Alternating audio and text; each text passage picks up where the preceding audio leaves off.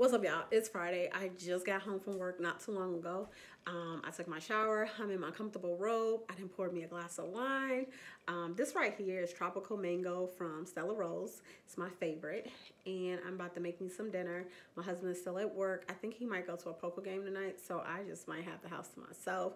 And I'm okay with that because ain't nothing like having some me time, some downtime. Um, it's been a hell of a week at work. Plus, I picked up that extra shift at my PRN job.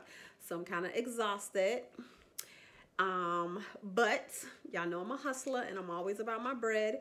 I did pick up an agency shift, but I picked up this shift like almost two weeks ago. So I didn't want to cancel it. Um, I'm working at one of the facilities through Clipboard um, from 11 to 7 for about like $40 an hour. Um, that might be my last shift with Clipboard. And like I said, I might switch over to ESHYFT just because they take out taxes. Um, they pay a little less and that's fine.